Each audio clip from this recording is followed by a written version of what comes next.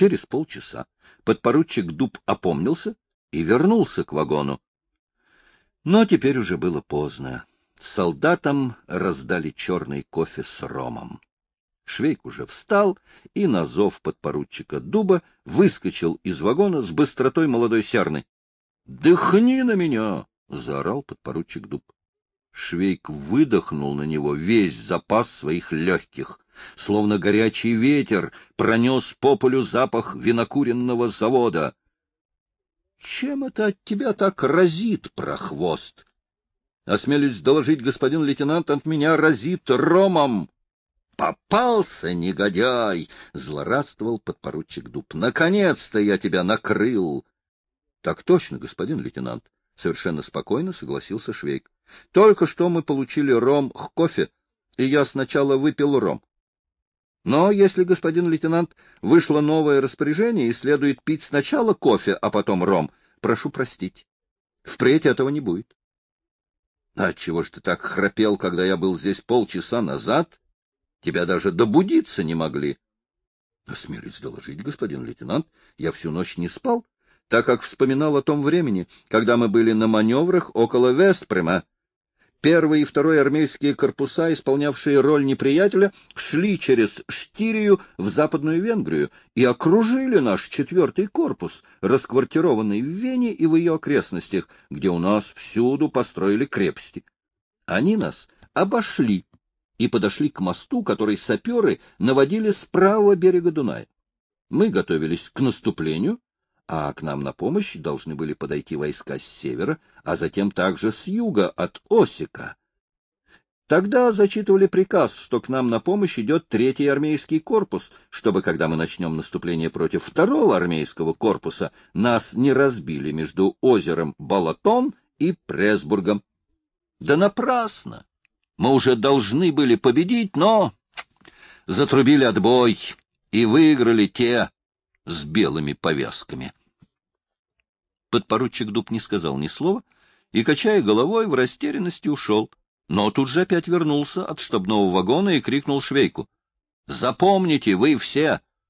Придет время, наплачетесь вы у меня. На большее его не хватило, и он ушел в штабной вагон, где капитан Сагнер как раз допрашивал одного несчастного солдата 12-й роты, которого привел фельдфебель Стрнад, Солдат уже теперь принимал меры, чтобы обезопасить себя в окопах, и откуда-то со станции притащил обитую жестью дверку свиного хлева. Теперь он стоял, вытаращив со страху глаза, и оправдывался тем, что хотел взять с собой дверку в качестве прикрытия от шрапнели, чтобы быть в безопасности. Воспользовавшись случаем, подпоручик Дуб разразился проповедью о том, как должен вести себя солдат, в чем состоят его обязанности по отношению к Отечеству и монарху, являющимся верховным главнокомандующим и высшим военным повелителем. Если в батальоне завелись подобные элементы, их следует искоренить, наказать и заключить в тюрьму. Эта болтовня была настолько безвкусной, что капитан похлопал провинившегося по плечу и сказал ему, — Ну, если у вас в мыслях не было ничего худого, то в дальнейшем не повторяйте этого. Ведь это глупость. Дверку отнесите, откуда вы ее взяли, и убирайтесь ко всем чертям. Подпоручик Дуб закусил губу и решил, что только от него одного — зависит спасение дисциплины в батальоне. Поэтому он еще раз обошел территорию вокзала и около склада, на котором большими буквами стояла надпись по-венгерски и по-немецки «Курить воспрещается», заметил какого-то солдата, сидевшего там и читавшего газету. Солдат так прикрылся газетой, что погон не было видно. Дуб крикнул ему «Встать!»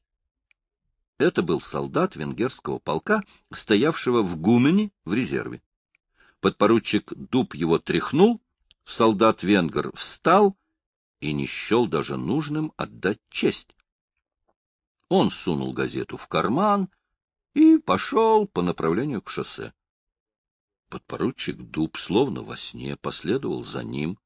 Солдат-венгер прибавил шагу, потом обернулся и издевательски поднял руки вверх, чтобы подпоручик ни на минуту не усомнился в том, что он сразу определил его принадлежность к одному из чешских полков.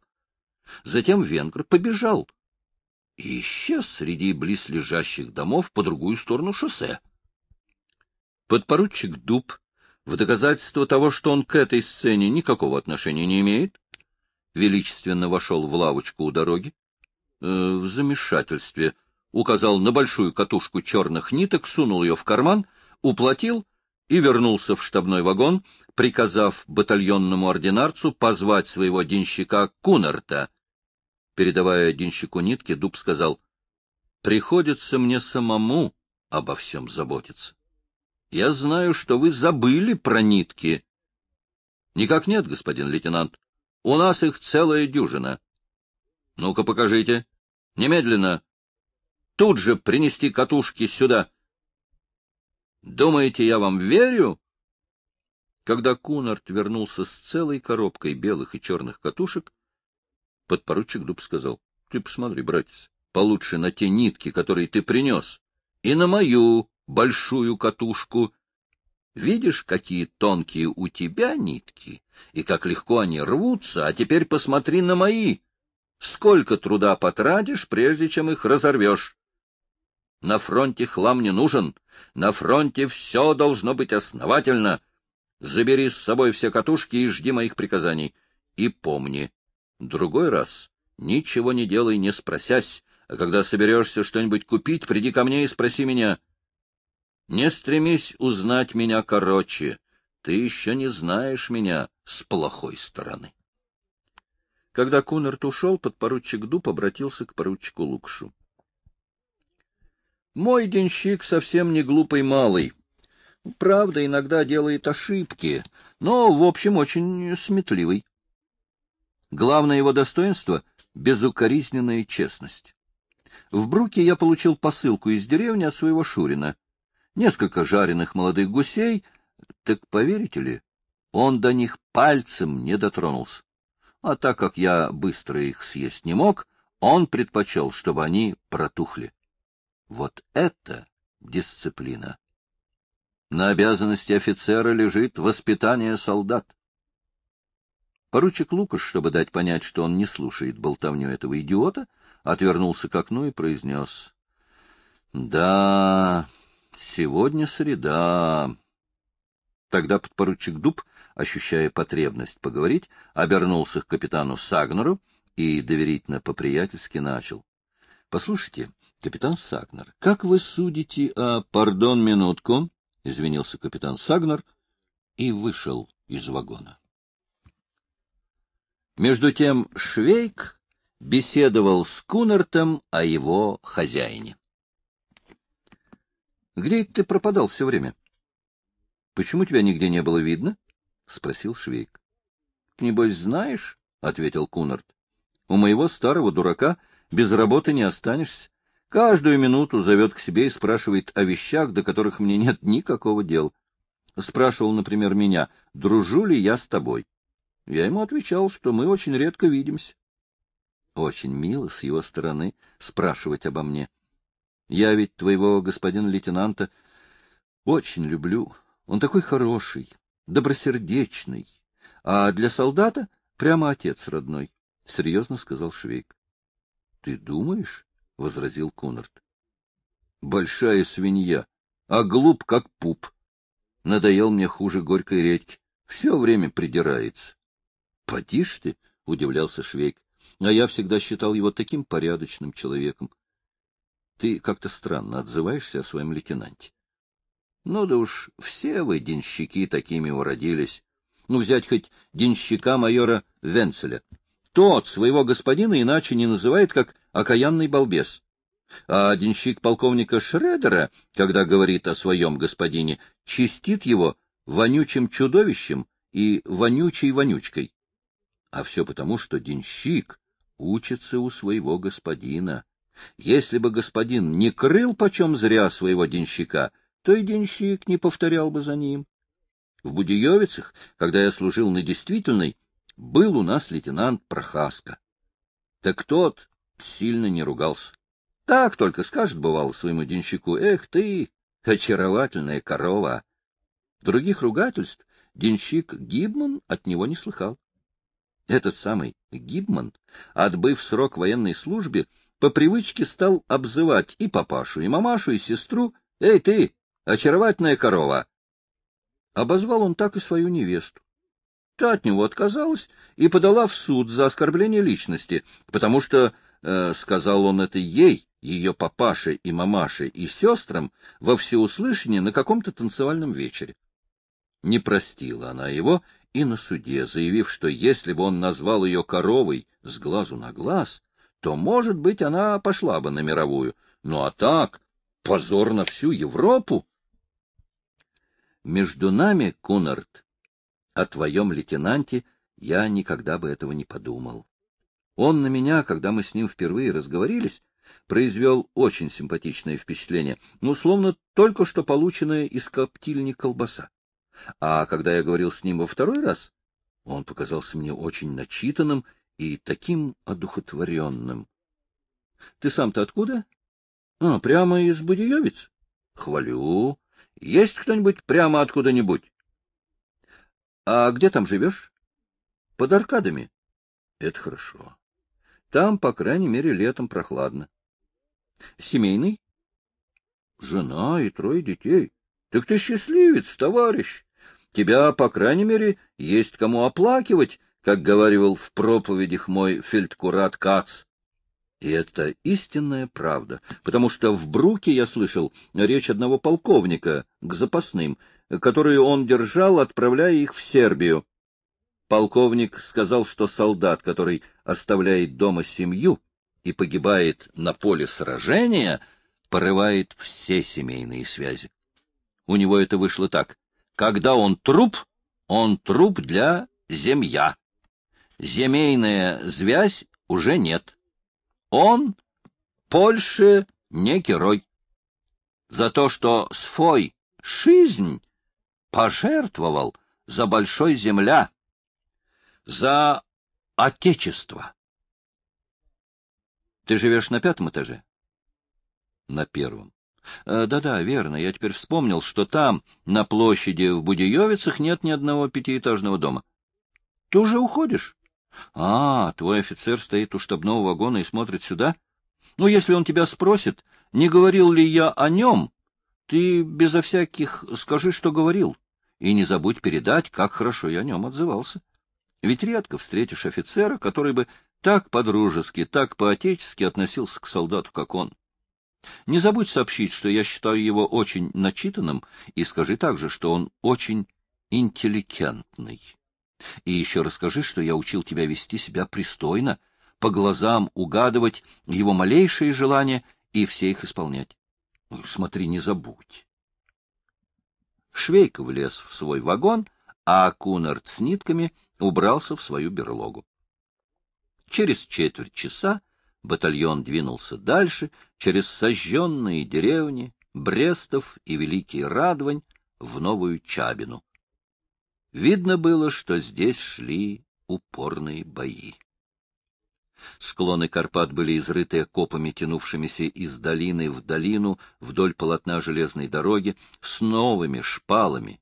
По обеим сторонам дороги часто попадались большие воронки от снарядов. Кое-где над речками, впадающими в Лаборец, дорога проходила вдоль верховья Лаборца, видны были новые мосты и обгорелые устои старых.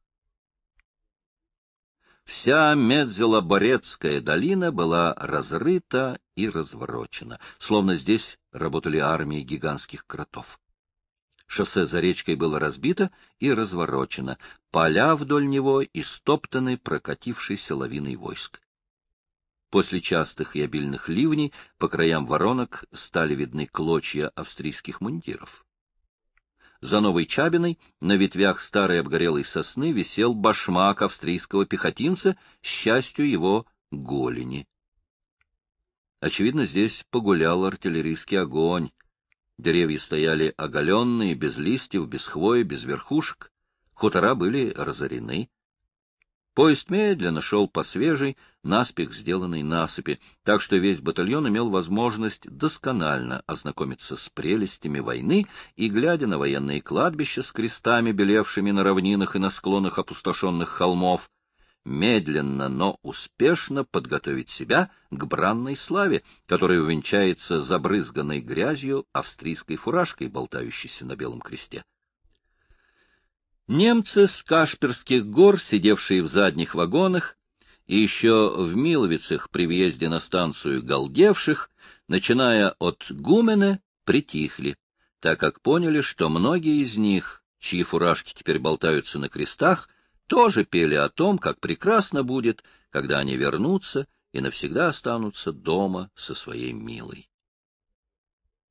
В Медзелаборце Поезд остановился за разбитым сожженным вокзалом, из закоптелых стен которого торчали искореженные балки. Новый длинный деревянный барак, выстроенный на скорую руку вместо сожженного вокзала, был залеплен плакатами на всех языках «Подписывайтесь на австрийский военный заем». В другом таком же бараке помещался пункт Красного Креста. Оттуда вышли толстый военный врач и две сестры милосердия сестрицы без удержу хохотали над толстым врачом, который для их увеселения подражал крику различных животных и бездарно хрюкал. Под железнодорожной насыпью в долине ручья лежала разбитая полевая кухня. Указывая на нее, Швейк сказал Балуоуну, — Посмотри, Балуоун, что нас ждет в ближайшем будущем. Вот-вот должны были раздать обед, и тут прилетела граната — и вон как разделала кухню. — Прямо страх берет, — вздохнул Балоун. — Мне и не снилось, что я попаду в такой переплет. А всему виной моя гордыня, ведь я, сволочь, прошлой зимой купил себе в Будеевицах кожаные перчатки. Мне уже зазорно было на своих мужицких лапах носить старые вязаные рукавицы, какие носил покойный батя. Да куда там, я все вздыхал по кожаным, городским. Батя горох уплетал за милую душу, а я и видеть его не хотел. Подавай мне птицу. И от простой свинины я тоже нос воротил. Жена должна была, прости господи мое прегрешение, вымачивать ее в пиве. Балоун в полном отчаянии стал исповедоваться как на духу. Я хулил святых и угодников божьих в трактире на Мальше, в Нижнем Загое избил капеллана. В Бога я еще верил, от этого не отрекаюсь, но в святости Иосифа усомнился. Всех святых терпел в доме, только образ святого Иосифа удалил, и вот теперь Господь покарал меня за все мои прегрешения и мою безнравственность. Сколько этих безнравственных дел я натворил на мельнице, как часто я ругал своего тятеньку и полагающиеся ему деньги зажиливал, а жену свою тиранил. Швейк задумался. — Вы мельник, так ведь? Ну, вам следовало бы знать, что божьи мельницы мелют медленно, но верно. Ведь из-за вас и разразилась мировая война. Вольно определяющийся вмешался в разговор. Своим богохульством и непризнанием всех святых и угодников вы, безусловно, сильно себя повредили. Ведь вам следовало знать, что наша австрийская армия уже издавна является армией католической, и блестящий пример ей подает наш верховный главнокомандующий. Да и как вообще вы отважились с ядом ненависти, хотя бы к некоторым святым и угодникам Божьим, идти в бой? Когда военное министерство в гарнизонных управлениях ввело проповеди иезуитов для господ офицеров, когда на Пасху мы видели торжественный воинский крестный ход. Вы понимаете меня, Балоун? Сознаете ли, что вы, собственно, выступаете против духа нашей славной армии? Ну, возьмем, например, святого Иосифа, образ которого, по вашим словам, вы не позволяли вешать в вашей комнате. Ведь он, Балоун, как раз является покровителем всех, кто хочет избавиться от военной службы. Он был плотником, а вы, должно быть, знаете поговорку «Поищем, где плотник оставил дыру». Уж сколько народу под этим девизом сдалось в плен, не видя другого выхода. Будучи окруженными со всех сторон, они спасали себя не из эгоистических побуждений, а как члены армии, чтобы потом, вернувшись из плена, иметь возможность сказать государю-императору «Мы здесь и ждем дальнейших приказаний». Понимаете теперь, в чем дело, Балоун? — Не понимаю, — вздохнул Балоун. — Ну, тупая у меня башка. Мне все надо повторять по десяти раз. — Может, маленько уступишь? — спросил Швейк. — Так я тебе еще раз объясню.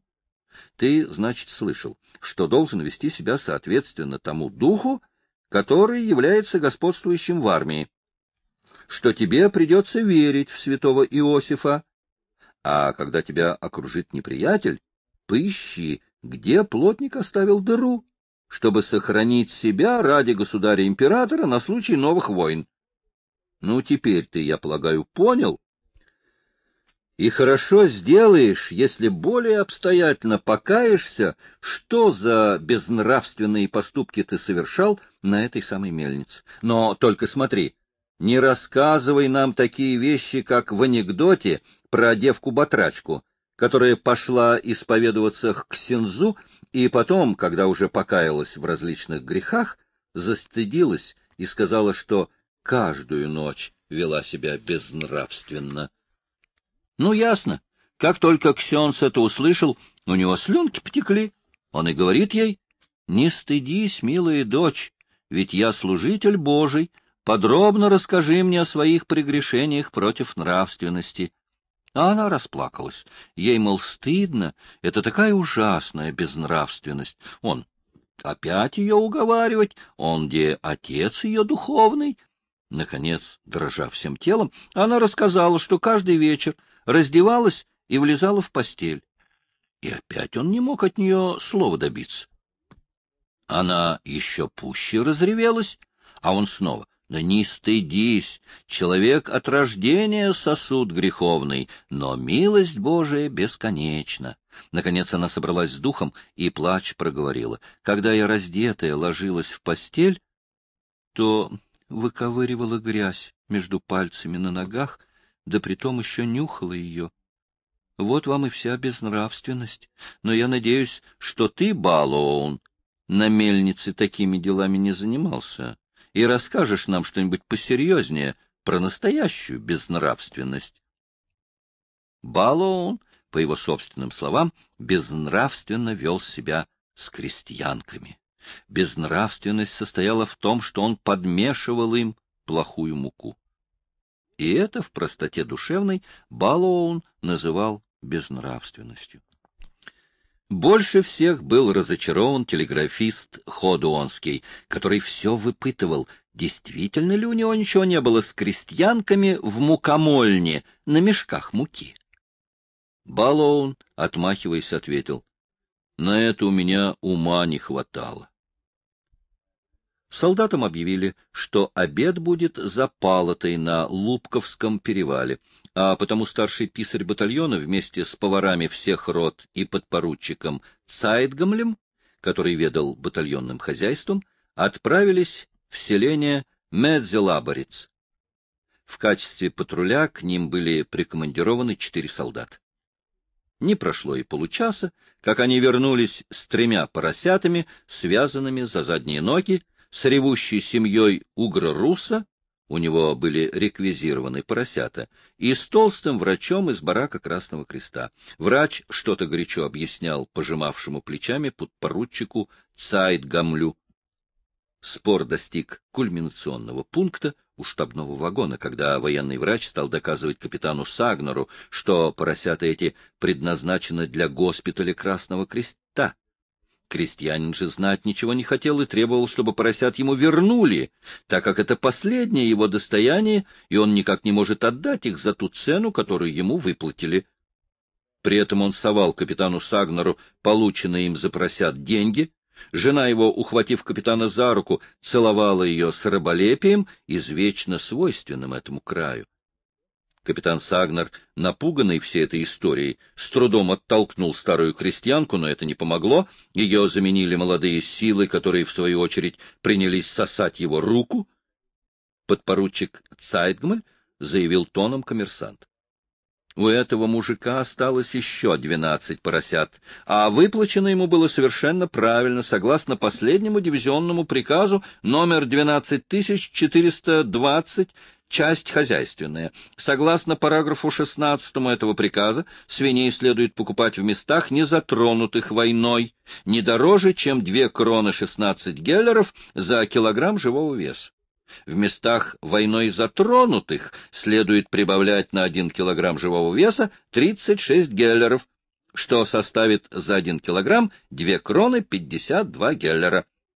Примечание. В случае, если будет установлено, что в местах, затронутых войной, хозяйства остались в целости с полным составом свиного поголовья, то свиньи могут быть отправлены для снабжения проходящих частей.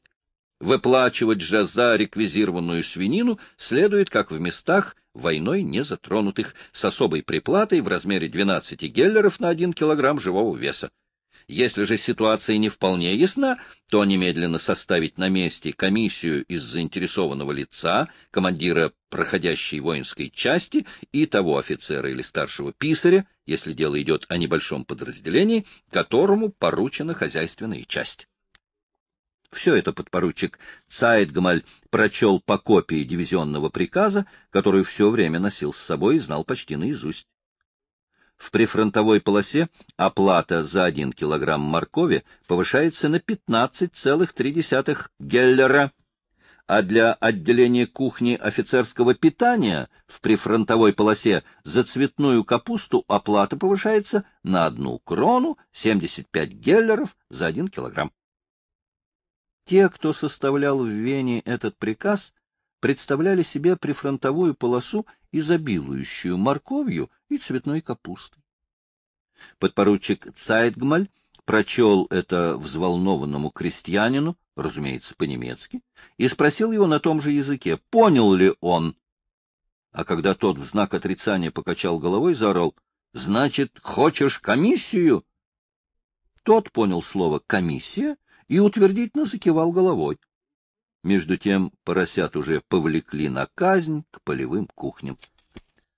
Крестьянина обступили прикомандированные для реквизиции солдаты со штыками, и комиссия отправилась на его хутор, чтобы на месте определить, должен ли он получить по две кроны пятьдесят два геллера за один килограмм или только по две кроны двадцать восемь геллеров. Они еще не вышли на дорогу, ведущую к селу, как от полевых кухонь донесся троекратный предсмертный виск поросят. Крестьянин понял, что всему конец, и отчаянно закричал. — Давайте мне за каждую свинью по два золотых. Четыре солдата окружили его еще плотнее, а вся семья преградила дорогу капитану Сагнеру и подпоручику Цайтгамлю, бросившись перед ними на колени посереть пыльной дороги. Мать с двумя дочерьми обнимала колени обоих, называя их благодетелями, пока крестьянин не прикрикнул на них и не заорал на украинском диалекте угрорусов, чтобы они встали. Пусть, мол, солдаты подавятся поросятами. Тем самым комиссия прекратила свою деятельность. Но крестьянин вдруг взбунтовался и стал грозить кулаками. Тогда один из солдат так хватил его прикладом, что у него в глазах потемнело, и вся семья во главе с отцом семейства, перекрестившись, пустилась на утек. Десять минут спустя старший писарь батальона вместе с ординарцем батальона Матушичем уже уписывали у себя в вагоне свиные мозги, уплетая за обе щеки, старший писарь время от времени язвительно обращался к младшим писарям со словами «Небось, и вы не прочь этого пожрать, не так ли?» «Нет, ребята, это только для унтер-офицеров. Поварам печенка и почки, мозг и голова господам фельдфебелям, а младшим писарям — только двойная солдатская порция мяса. Капитан Сагнер уже отдал приказ относительно офицерской кухни. Свиное жаркое с тмином. Выбрать самое лучшее мясо, но не слишком жирное. Вот почему, когда на Лубковском перевале солдатам раздавали обед, каждый из них обнаружил в своем котелке по два маленьких кусочка мяса, а тот, кто родился под несчастливой звездой, нашел только кусочек шкурки. В кухне царило обычное армейское кумовство. Благами пользовались все, кто был близок к господствующей клике. Денщики ходили с лоснившимися от жира мордами, у всех ординарцев животы были словно барабаны. Творились вопиющие безобразия. Вольно определяющийся Марек из чувства справедливости произвел возле кухни скандал. Когда кошевар положил ему в котелок с супом солидный кусок вареного филе, сказав при этом «это нашему историографу», Марек заявил, что на войне все солдаты равны, и это вызвало всеобщее одобрение и послужило поводом обругать кошеваров. Вольно определяющийся бросил кусок мяса обратно, показав этим, что отказывается от всяких привилегий. В кухне, однако, ничего не поняли и сочли, что батальонный историограф остался недоволен предложенным куском, а потому кошевар шепнул ему, чтобы он пришел после раздачи обеда, тогда он, мол, отрежет ему часть от окорока.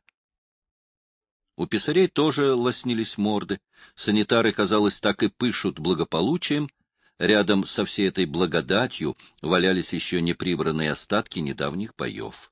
Повсюду были разбросаны патронные обоймы, пустые жестяные консервные банки, клочья русских, австрийских и немецких мундиров, части разбитых повозок, длинные окровавленные ленты марлевых бинтов и вата. В старой сосне у вокзала, от которого осталась только груда развалин, торчала неразорвавшаяся граната. Возле валялись осколки снарядов. По-видимому, недалеко находились солдатские могилы, откуда страшно несло трупным запахом. Так как здесь проходили и располагались лагерем войска, то повсюду виднелись кучки человеческого кала международного происхождения, представителей всех народов Австрии, Германии и России.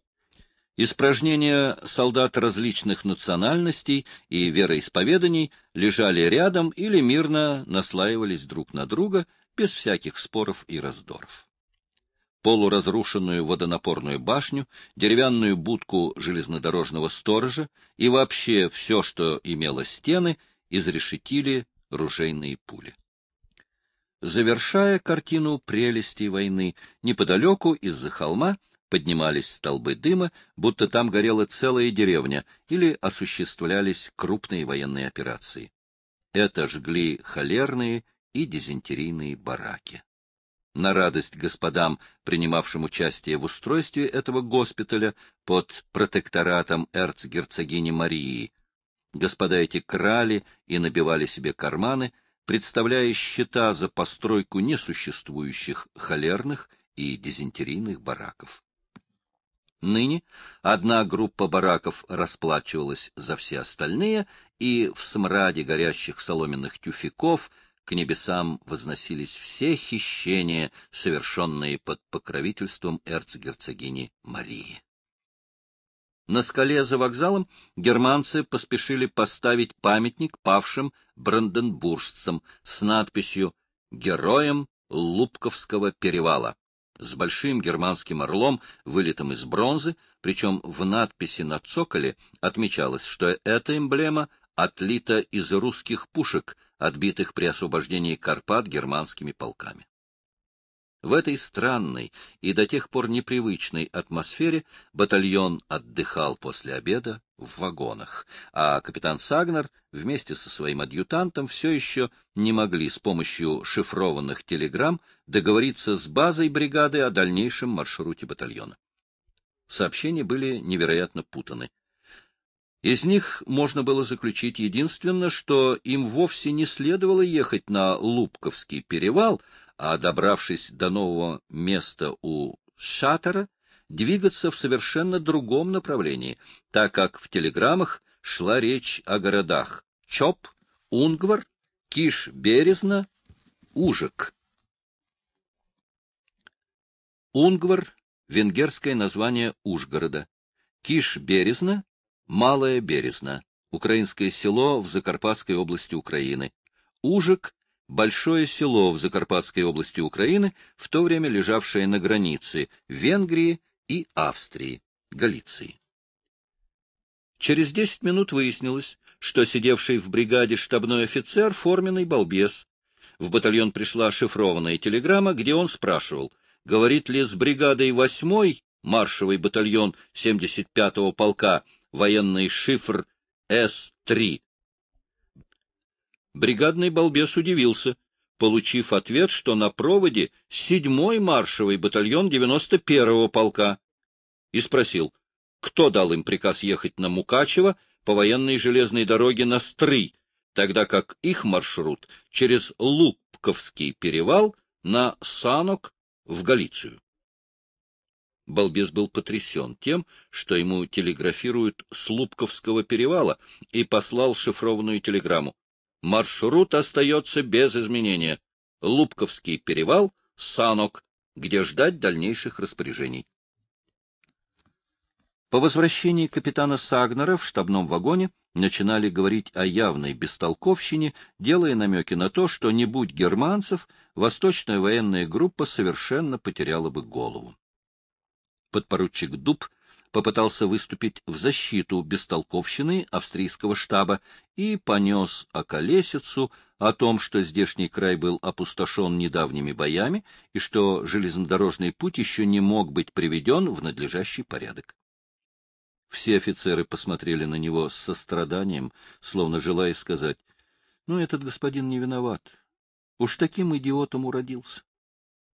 Не встречая возражений, подпоручик Дуб распространялся о великолепном впечатлении, которое производит на него этот разоренный край, свидетельствующий о том, как умеет бить железный кулак нашей армии. Ему опять никто не ответил, и он повторил «Да, безусловно, Разумеется, русские отступали здесь в страшной панике. Капитан Сагнер про себя решил, что когда они будут в окопах, и положение станет особенно опасным, он при первом же удобном случае пошлет подпоручика Дуба за проволочные заграждения в качестве офицера-разведчика для рекогносцировки неприятельских позиций а поручику Лукшу, высунувшемуся так же, как и он, из окна вагона, шепнул сгоряча, «Послал черт на нашу голову этих штатских! Чем образованнее, тем глупей!» Казалось, подпоручик Дуб никогда не замолчит. Он пересказывал офицерам все, что читал в газетах о карпатских боях и о борьбе за карпатские перевалы во время австро-германского наступления на Сане австро-германское наступление на Сане. В связи с затишьем на Западном фронте немецкие войска получили возможность предпринять наступление в Галиции, в результате которого русские в мае-июне 1915 года отступили за реку Сан. Он рассказывал так, будто не только участвовал, но и сам руководил всеми операциями. Особенное отвращение вызывали его изречения вроде «Связь» Потом мы двинулись на Буковско, чтобы обеспечить за собой линию Буковска-Дынув, поддерживая связь э, с Бардиевской группой у Большой Полянки, где мы разбили Самарскую дивизию неприятеля. Поручик Лукаш не выдержал и вставил, прервав подпоручика Дуба. — О чем ты, по-видимому, еще до войны говорил со своим окружным начальником? Подпоручик Дуб враждебно взглянул на поручика Лукша и вышел из вагона. Воинский поезд стоял на насыпи, а внизу, в нескольких метрах под откосом, лежали разные предметы, брошенные русскими солдатами, которые, по-видимому, отступали по этому рву. Тут валялись заржавленные чайники, горшки, патронташи, Здесь же, среди разнообразнейших предметов, виднелись мотки колючей проволоки и снова окровавленные полосы марлевых бинтов и вата. В одном месте над орвом стояла группа солдат, и подпоручик Дуб тотчас заметил, что находящийся среди них Швейк что-то рассказывает. Он отправился туда. — Что случилось? — раздался строгий окрик подпоручика Дуба, который вырос прямо перед Швейком. — Осмелюсь доложить, господин лейтенант, — ответил за всех Швейк. — Смотрим. — На что смотрите? — крикнул подпоручик Дуб. — Осмелюсь доложить, господин лейтенант, мы смотрим вниз в ров. — А кто вам разрешил это? Осмелюсь доложить, господин лейтенант, такова воля нашего господина полковника Шредера из Брука. Когда мы отправлялись на фронт, он в своей прощальной речи велел нам, когда будем проходить по местам боев, сугубое внимание обращать на то, как развивалось сражение, чтобы извлечь пользу для себя.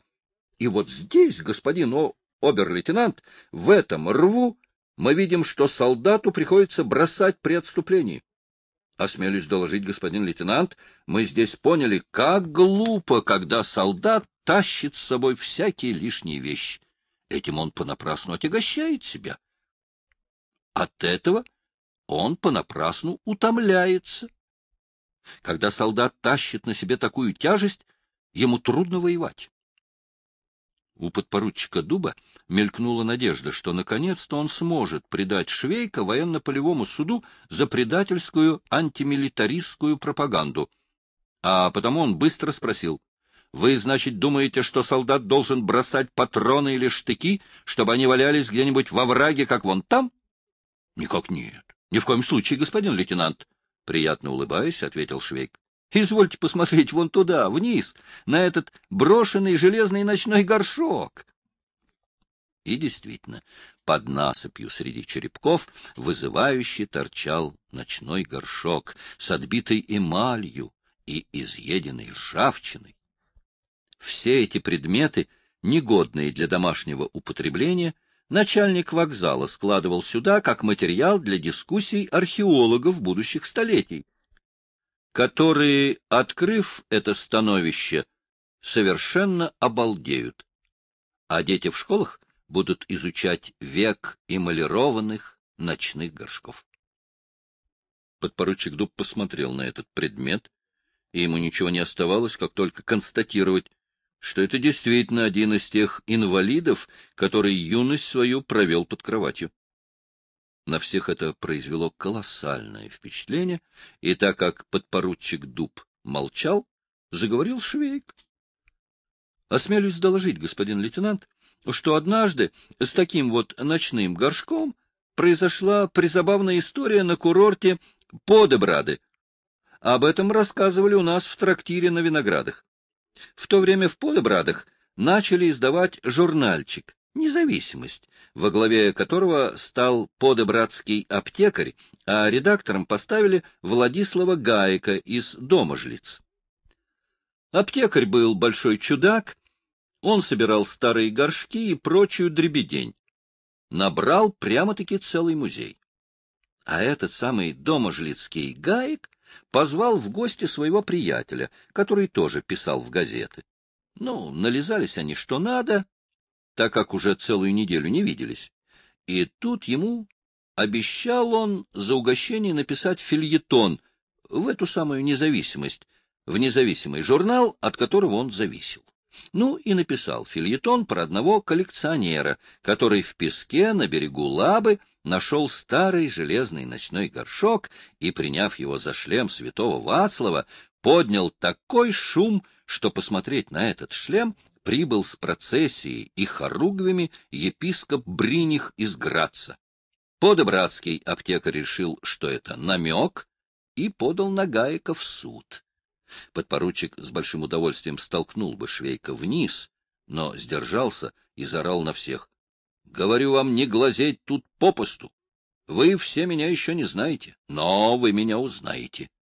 Вы останетесь здесь, Швейк, приказал он грозно, когда Швейк вместе с остальными направился к вагону. Они остались с глазу на глаз. Подпоручик Дуб размышлял, что бы такое сказать пострашнее. Но Швейк опередил его. — Осмелюсь доложить, господин лейтенант, хорошо, если удержится такая погода. Днем не слишком жарко, а ночью очень приятной. Самое подходящее время для военных действий. Подпоручик Дуб вытащил револьвер и спросил. — Знаешь, что это такое? — Так точно, господин лейтенант, знаю. У нашего обер-лейтенанта Лукаша точь-в-точь точь такой же. — Так запомни, мерзавец, — строго и с достоинством сказал подпоручик Дуб, снова пряча револьвер. — Знай, что дело кончится очень плохо, если ты и впредь будешь вести свою пропаганду. Уходя, подпоручик Дуб довольно повторял про себя. Это я ему хорошо сказал. Пропаганду. Да, пропаганду. Прежде чем влезть в вагон, Швейк прошелся немного, ворча себе под нос. Куда же мне его зачислить? И чем дальше, тем отчетливее в сознании Швейка возникало прозвище «полупердун». В военном лексиконе слово «пердун» издавна пользовалось особой любовью. Это почетное наименование относилось главным образом к полковникам или пожилым капитанам и майорам. Пердун было следующей ступенью прозвища «дряной старикашка». Без этого эпитета слова «старикашка» было ласкательным обозначением старого полковника или майора, который часто орал, но любил своих солдат и не давал их в обиду другим полкам, особенно когда дело касалось чужих патрулей, которые вытаскивали солдат его части из кабаков, если те засиживались сверхположенного времени. Старикашка заботился о солдатах, следил, чтобы обед был хороший. Однако у старикашки непременно должен быть какой-нибудь конек. Как сядет на него, так и поехал. За это его и прозывали старикашкой. Но если старикашка понапрасну придирался к солдатам и унтерам, выдумывал ночные учения и тому подобные штуки, то он становился из просто старикашки паршивым старикашкой или дрянным старикашкой. Высшая степень непорядочности, придирчивости и глупости обозначалась словом «пердун». Это слово заключало все, но между штатским пердуном и военным пердуном была большая разница. Первый, штатский, тоже является начальством. В учреждениях так его называют обычно курьеры и чиновники. Это филистер-бюрократ, который распекает, например, за то, что черновик недостаточно высушен промокательной бумагой, ну и тому подобное. Это исключительный идиот и скотина. Осел, который строит из себя умного, делает вид, что все понимает, все умеет объяснить и к тому же на всех обижается. Кто был на военной службе, понимает, конечно, разницу между этим типом и пердуном в военном мундире. Здесь это слово обозначало старикашку, который был настоящим паршивым старикашкой, всегда лез на рожон и, тем не менее, останавливался перед каждым препятствием. Солдат он не любил, безуспешно воевал с ними не снискал у них того авторитета, которым пользовался просто старикашка и отчасти паршивый старикашка. В некоторых гарнизонах, как, например, в Тренто, вместо пердуна говорили «наш старый нужник». Во всех этих случаях дело шло о человеке пожилом, и если Швейк мысленно назвал подпоручика Дуба полупердуном, то поступил вполне логично, так как и по возрасту, и по чину, и вообще по всему прочему подпоручику Дубу до Пердуна не хватало еще 50%. Возвращаясь с этими мыслями к своему вагону, Швейк встретил денщика Кунарта. Щека у Кунарта распухла. Он невразумительно пробормотал, что недавно у него произошло столкновение с господином подпоручиком Дубом, который ни с того ни с сего надавал ему оплеух. У него, мол, имеются определенные доказательства, что Кунарт поддерживает связь со Швейком. — В таком случае, — рассудил Швейк, — идем подавать рапорт. Австрийский солдат обязан сносить оплеухи только в определенных случаях. Твой хозяин — переступил все границы, как говаривал старый Евгений Савойский. От сих до сих. Теперь ты обязан идти с рапортом, а если не пойдешь, так я сам надаю тебе плюх. Тогда будешь знать, что такое воинская дисциплина. В карлинских казармах был у нас лейтенант по фамилии Гауснер. У него тоже был денщик, которого он бил по морде и награждал пинками. Как-то раз он так набил морду этому денщику, что тот совершенно обалдел и пошел с рапортом. А при рапорте все перепутал и сказал, что ему надавали пинков. Ну, лейтенант доказал, что солдат врет. В тот день он никаких пинков ему не давал, бил только по морде.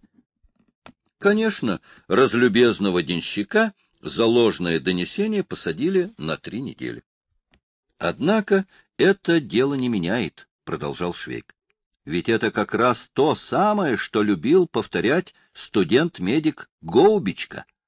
Он говорил, что все равно, кого вскрыть в анатомическом театре, человека, который повесился или который отравился. Я иду с тобой. Пара пощечин на военной службе много значит. Кунарт совершенно обалдел и поплелся за швейком к штабному вагону. Подпоручик Дуб, высовываясь из окна, заорал. — Что вам здесь нужно, негодяи? — Держись с достоинством, — советовал Швейк Кунарту, вталкивая его в вагон. В коридор вагона вошел поручик Лукаш, а за ним капитан Сагнер. Поручик Лукаш, переживший столько неприятностей из-за Швейка, был очень удивлен, ибо лицо Швейка утратило обычное добродушие и не имело знакомого всем милого выражения, скорее наоборот. На нем было написано, что произошли новые неприятные события. — Осмелюсь доложить, господин обер-лейтенант, — сказал Швейк, Дело идет о рапорте. Только, пожалуйста, не валяй дурака, Швейк. Мне это уже надоело. С вашего разрешения я ординарец вашей маршевой роты, а вы, с вашего разрешения, изволите быть командиром одиннадцатой роты. Я знаю, это выглядит очень странно, но я знаю также и то, что господин лейтенант Дуб подчинен вам. — Вы, Швейк, окончательно спятили, — прервал его поручик Лукш. Вы пьяны, и лучше всего сделаете, если уйдете отсюда. Понимаешь, дурак, скотина.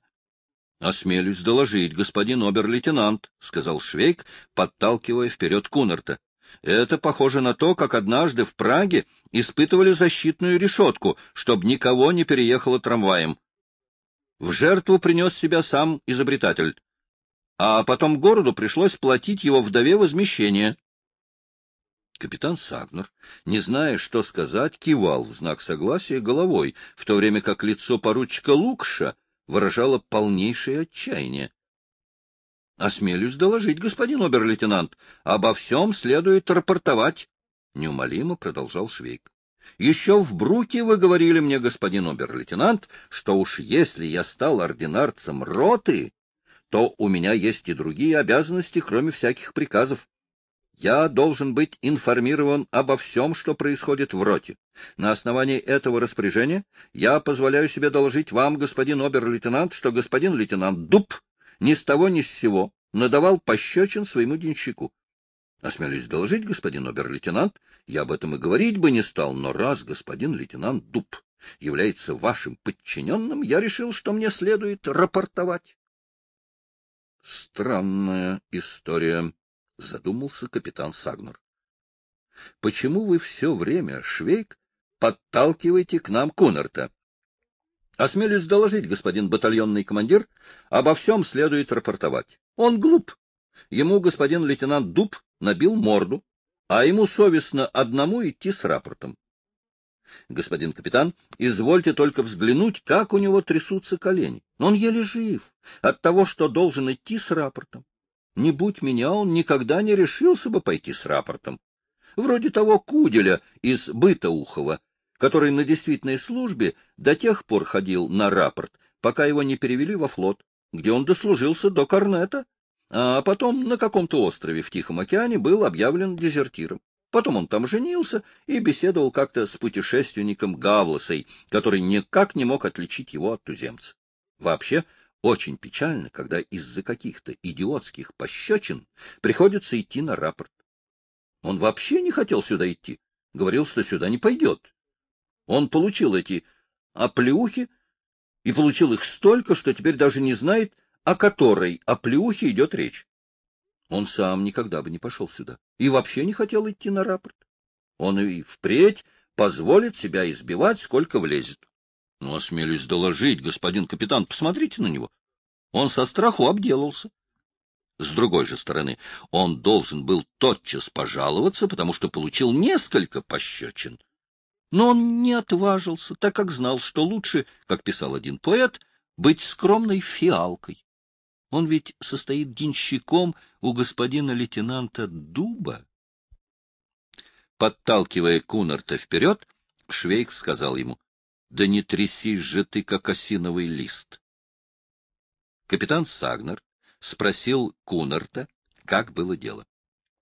Кунарт, дрожа всем телом, заявил, что господин капитан могут обо всем расспросить самого господина лейтенанта. Вообще господин лейтенант Дуб по морде его не бил. Иуда Кунарт, не переставая дрожать, заявил даже, что Швейк все выдумал. Этому печальному событию положил конец сам подпоручик Дуб, который вдруг появился и закричал на Кунарта. — Хочешь получить новые оплюхи? Все стало ясно, и капитан Сагнер прямо заявил подпоручику Дубу. С сегодняшнего дня Кунарт прикомандировывается к батальонной кухне. Что же касается нового денщика, обратитесь к старшему писарю Ванеку. Подпоручик Дуб взял под козырек и, уходя, бросил швейку. — Бьюсь об заклад. Вам не миновать петли. Когда Дуб ушел, Швейк растроганно, подружески обратился к поручику Лукушу. В Мниховом Градиште был один такой же господин. Он то же самое сказал другому господину, а тот ему в ответ «Под виселицей встретимся». — Ну и идиот же вы, Швейк! — с сердцем воскликнул поручик Лукш. — Но не вздумайте по своему обыкновению ответить «Так точно я идиот». «Поразительно!» — воскликнул капитан Сагнер, высовываясь в окно. Он с радостью спрятался бы обратно, но было поздно. Несчастье уже совершилось. Под окном стоял подпоручик Дуб. Подпоручик Дуб выразил свое сожаление по поводу того, что капитан Сагнер ушел, не выслушав его выводов относительно наступления на Восточном фронте. Если мы хотим как следует понять это колоссальное наступление, — кричал подпоручик Дуб в окно, мы должны отдать себе отчет в том, как развернулось наступление в конце апреля. Мы должны были прорвать русский фронт, и наиболее выгодным местом для этого прорыва сочли фронт между Карпатами и Вислой.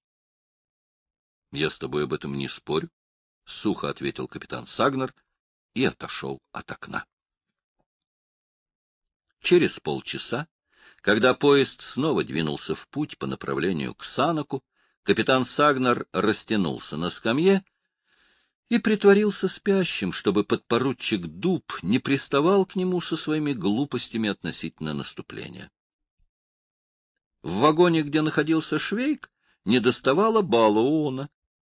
Он выпросил себе разрешение вытереть хлебом котел, в котором варили гуляш. В момент отправления Балоун находился на платформе с полевыми кухнями, и когда поезд дернуло, очутился в очень неприятном положении, влетев головой в котел. Из котла торчали только ноги. Но вскоре он привык к новому положению, и из котла опять раздалось чавканье, вроде того, какое издает еж, охотясь за тараканами. Потом послышался умоляющий голос Балоуна. — Ради бога, братцы, Будьте добренькие, бросьте мне сюда еще кусок хлеба. Здесь много соуса. Эта идиллия продолжалась до ближайшей станции, куда одиннадцатая рота приехала с котлом, вычищенным до блеска. Да вознаградит вас за это Господь Бог, товарищи! — сердечно благодарил Балоун. С тех пор, как я на военной службе, мне впервой посчастливилось и он был прав. На Лубковском перевале Балоун получил две порции гуляша. Кроме того, поручик Лукаш, которому Балоун принес из офицерской кухни нетронутый обед, на радостях оставил ему добрую половину. Балоун был счастлив вполне. Он болтал ногами, свесив их из вагона. От военной службы на него вдруг повеяло чем-то теплым и родным. Повар начал его разыгрывать. Он сообщил, что в Сануке им сварят ужин и еще один обед в счет тех ужинов и обедов, которые солдаты недополучили в пути. Балоун только одобрительно кивал головой и шептал, — Вот увидите, товарищи, Господь Бог нас не оставит. Все откровенно расхохотались, а кошевар, сидя на полевой кухне, запел Жу пойди я, жу пойдя, Бог не выдаст никогда. Коли нас посадит в лужу, сам же вытащит наружу. Коли в лес нас заведет, сам дорогу нам найдет. Жу пойди я, жу пойда, Бог не выдаст никогда. За станцией Шавня в долине опять начали попадаться военные кладбища. С поезда был виден каменный крест с обезглавленным Христом, которому снесло голову при обстреле железнодорожного пути. Поезд набирал скорость, летя по лощине к Саноку. Все чаще попадались разрушенные деревни. Они тянулись по обеим сторонам железной дороги до самого горизонта. Около Кулошны внизу в реке лежал разбитый поезд Красного Креста, рухнувший с железнодорожной насыпи. Балоун вылупил глаза, его особенно поразили раскиданные внизу части паровоза. Дымовая труба врезалась в железнодорожную насыпь и торчала, словно 28-сантиметровое орудие. Эта картина привлекла внимание всего вагона. Больше других возмущался повар Юрейда. Разве полагается стрелять в вагоны Красного Креста? — Не полагается, но допускается, — ответил Швейк. Попадание было хорошее. Ну, а потом каждый может оправдаться, что случилось это ночью. Красного креста не заметили. На свете вообще много чего не полагается, что допускается. Главное — попытаться сделать то, чего делать нельзя. Во время императорских маневров под Писыком пришел приказ, что в походе запрещается связывать солдат козлом. Но наш капитан додумался сделать это иначе. Над приказом он только смеялся, но ведь ясно, что связанный козлом солдат не может маршировать. Так он, в сущности, этого приказа не обходил, а просто-напросто бросал связанных солдат в обозные повозки и продолжал поход. Или вот еще случай, который произошел на нашей улице лет пять-шесть назад.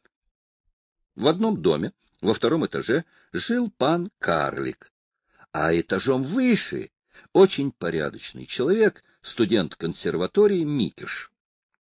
Этот Микиш был страшный бабник.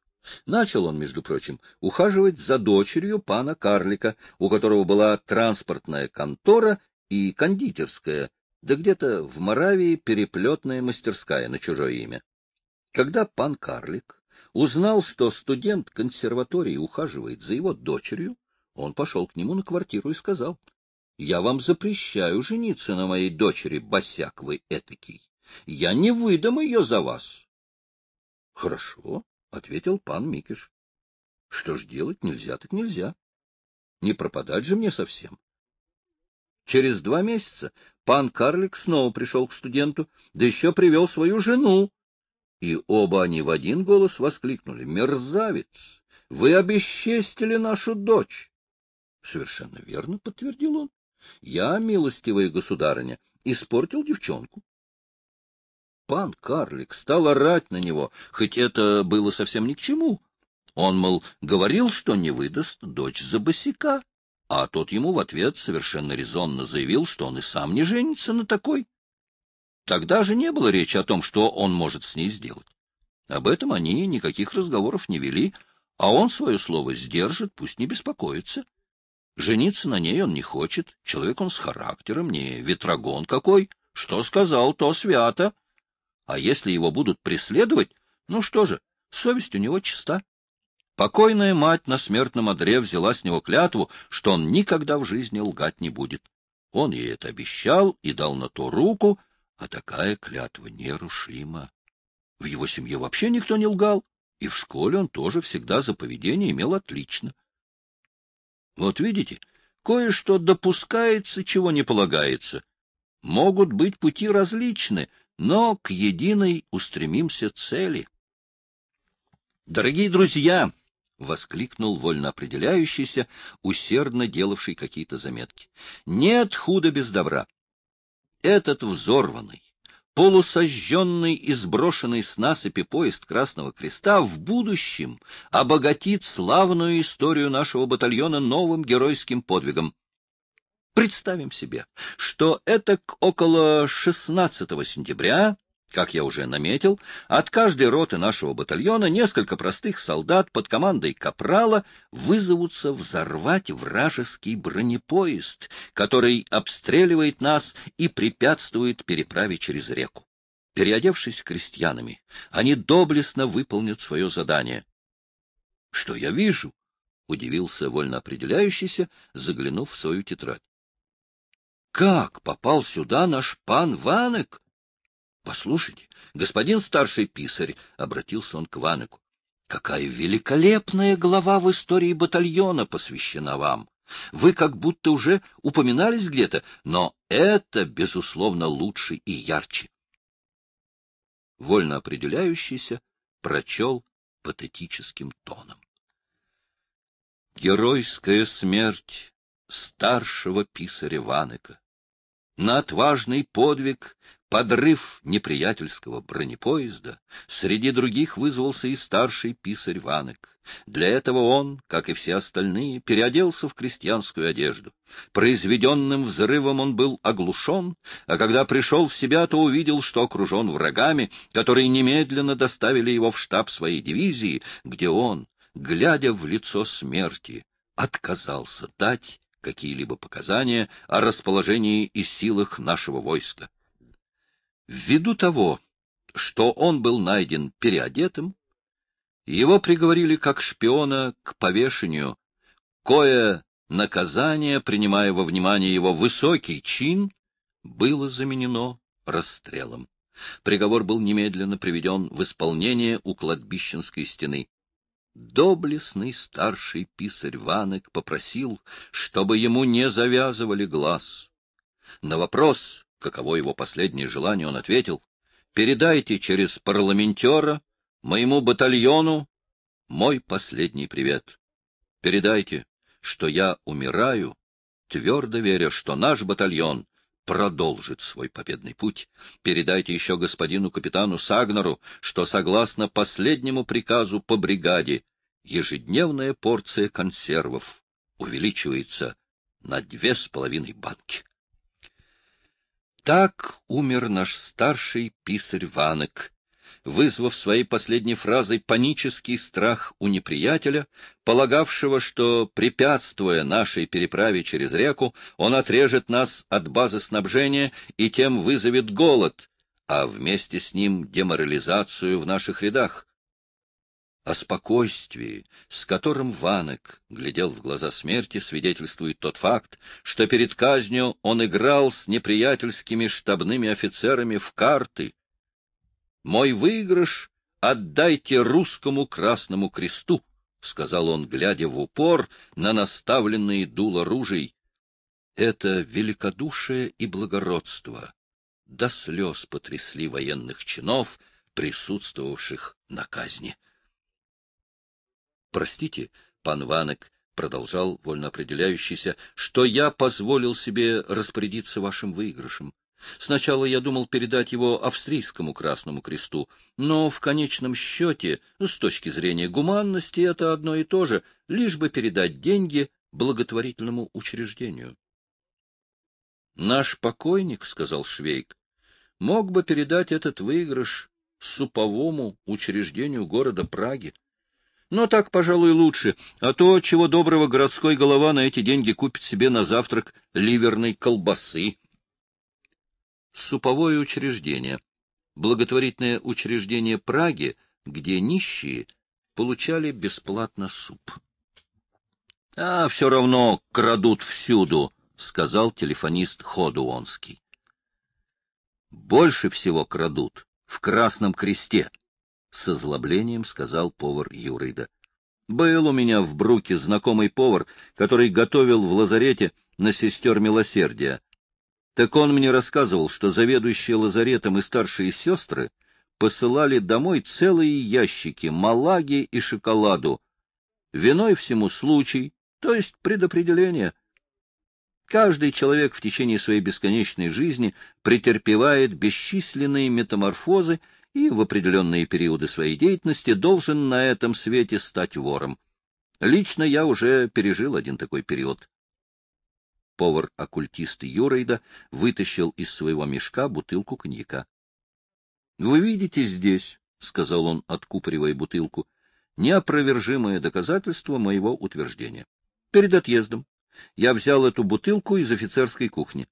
Коньяк лучшей марки. Выдан на сахарную глазурь для линских тортов. Но ему было предопределено судьбой, чтобы я его украл, равно как мне было предопределено стать вором. Было бы не скверно, — отозвался Швейк, — если бы нам было предопределено стать вашими соучастниками. По крайней мере, у меня такое предчувствие. И предопределение судьбы исполнилось. Несмотря на протесты старшего писаря Ванека, бутылка пошла в круговую. Ванек утверждал, что коньяк следует пить из котелка, по справедливости разделив его, ибо на одну эту бутылку приходится пять человек, то есть число нечетное, и легко может статься, что кто-нибудь выпьет на один глоток больше, чем остальные. Швейк поддержал его, заметив, совершенно верно. И если пан Ванек хочет, чтобы было четное число, пускай выйдет из компании, чтобы не давать повода ко всякого рода недоразумениям и спорам. Тогда Ванек отказался от своего проекта и внес другой, великодушный, пить в таком порядке, который дал бы возможность угощающему Юрыде выпить два раза. Это вызвало бурю протеста, так как Ванек уже раз хлебнул, попробовав коньяк при откупоривании бутылки. Ну, в конечном счете был принят проект вольно определяющегося пить по алфавиту. Вольно определяющийся обосновывал свой проект тем, что носить ту или иную фамилию тоже предопределено судьбой. Бутылку прикончил шедший первым по алфавиту Ходонский.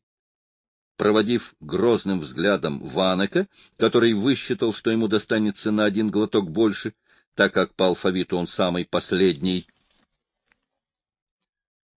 шедший первым по алфавиту Ходуонский. Х в чешском алфавите стоит на одном из первых мест. По алфавиту он, Ванек, самый последний. Буква В, одна из последних в чешском алфавите. Но это оказалось грубым математическим просчетом, так как всего вышел 21 глоток. Потом стали играть в простой цвик из трех карт. Выяснилось, что, взяв козыря, вольно определяющийся всякий раз цитировал отдельные места из священного писания. Так, забрав козырного валета, он возгласил «Господи, остави ми валета, и се лето дондеже окопаю, и осыплю гноем, и аще уба сотворит плод». Когда его упрекнули в том, что он отважился взять даже козырную восьмерку, он глазом вели им возопил. Или кое жена имущи десять драхм, аще погубит драхму едину, не возжигает ли светильника и пометет храмину, и ищет прилежно, донде же обрящет. И обретшие созывает другини, и соседи глаголющие, радуйтесь со мною, ибо взяла я восьмерку и прикупила козырного короля и туза. Давайте сюда карты, мы все сели вольно определяющемуся Марку, действительно здорово везло. В то время как остальные били друг друга козырями, он неизменно перебивал их козыри старшим козырем, так что его партнеры проигрывали один за другим, а он брал взятку за взяткой, взывая к пораженным. «И настанет трус великий в градах, глад и мор по всей земли, и будут знамения велия на небес». Наконец карты надоели, и они бросили играть после того, как Ходуонский просадил свое жалование за полгода вперед. Он был страшно удручен этим, а вольно определяющийся неотступно требовал с него расписку в том, что при выплате жалования старший писарь Ванок должен выдать жалование Ходуонского ему, Мареку. — Не трусь, Ходуонский, — подбодрил несчастного Швейк. — Тебе еще повезет. Если тебя убьют при первой схватке, Марек утрет себе морду твоей распиской. Подпиши. Это замечание задело Ходуонского за живое, и он с уверенностью заявил, «Я не могу быть убитым. Я телефонист, а телефонисты все время находятся в блиндаже, а провода натягивают или ищут повреждения после боя». В ответ на это вольно определяющийся возразил, что как раз наоборот — телефонисты подвергаются колоссальной опасности, и что неприятельская артиллерия точит зуб главным образом против телефонистов. Ни один телефонист не застрахован в своем блиндаже от опасности. Заройся телефонист в землю хоть на 10 метров, и там его найдет неприятельская артиллерия. Телефонисты тают, как летний град под дождем. Лучшим доказательством этого является то, что в Бруке, когда он покидал его, был объявлен 28-й набор на курсы телефонистов. Ходуонскому стало очень жаль себя. Он готов был заплакать. Это побудило Швейка сказать ему несколько теплых слов утешения. — Здорово тебя объегорили. Ходуонский приветливо отозвался. — Цыц, тетенька, Посмотрим в заметках по истории батальона на букву «Х». Ходуонский. Хм, Ходуонский. Ага, здесь. Телефонист Ходуонский засыпан при взрыве фугаса. Он телефонирует из своей могилы в штаб. Умираю. Поздравляю наш батальон с победой. — Ну, этого с тебя достаточно? — спросил Швейк. — А может, ты хочешь что-нибудь прибавить? Помнишь того телефониста на «Титанике»? «Титаник» — английский океанский пароход. В 1912 году на пути из Европы в Америку столкнулся с айсбергом и затонул. Тот, когда корабль уже шел ко дну, еще телефонировал вниз, в затопленную кухню. Когда же будет обед? — Это мне нетрудно, — уверил вольно определяющийся. Если угодно, предсмертные слова Ходуонского можно дополнить. Под конец он прокричит у меня в телефон. «Передайте мой привет нашей железной бригаде».